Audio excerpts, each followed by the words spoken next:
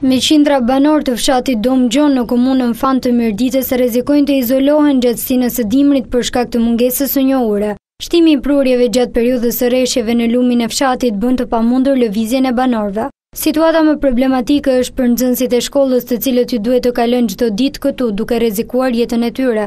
Ndërsa gjatë dimrit ato izolohen duke mos e frekuentuar shkollën për ditë të tëra. Bëjmë fjalë për nxënësit e shkollës janë shumë të vegjël edhe kanë shumë të vështirë udhëtimin, kalimin e këtij lumi këtu. Nevoja e ndërhyrjes është shumë e shpejtë, sepse po të shikosh investimet që kanë nxjerrë këtu, këtu kanë bërë investime kalosale në krahë të tjerë, se nuk i nevojiten banorëve, por të shikojnë e të bëjnë një urë të domosdoshme për këtë dimër që fëmijët tonë po na rrethon kjo fatkeqësi.